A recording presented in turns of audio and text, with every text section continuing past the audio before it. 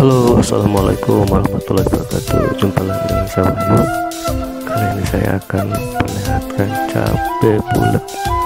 Cabai kuntet. Lihat nih warnanya ungu. Oh, Masih agak muda gitu ya.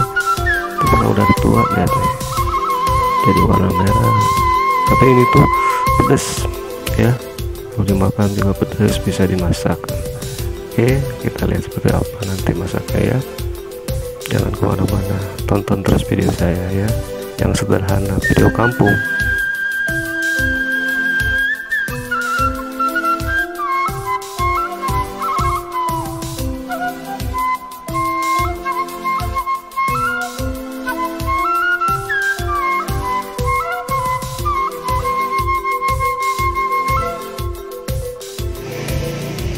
Ini dia